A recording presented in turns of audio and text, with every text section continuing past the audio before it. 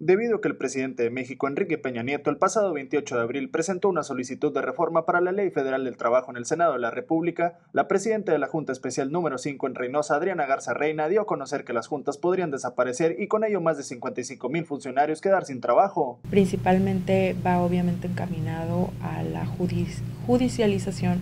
de las juntas de conciliación y arbitraje, es decir, eh, nosotros actualmente dependemos del Poder Ejecutivo, y lo que se pretende con esta iniciativa de reforma es, bueno, pasar las juntas de conciliación y arbitraje a lo que es el Poder Judicial. Se habla eh, propiamente de una desaparición de las juntas de conciliación por efecto de que la justicia laboral se torne ya eh, como parte de un sistema judicial.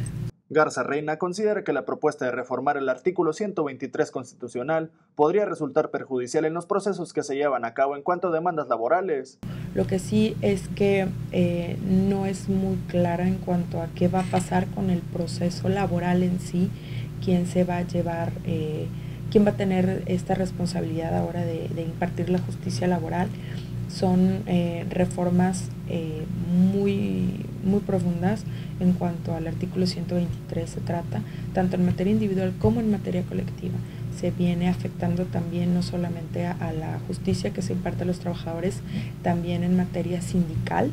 y por supuesto a la empresa mexicana. Con imágenes de Francisco Hernández e información de Pedro Ortiz, informó para La Voz Miguel Ángel Ceballos.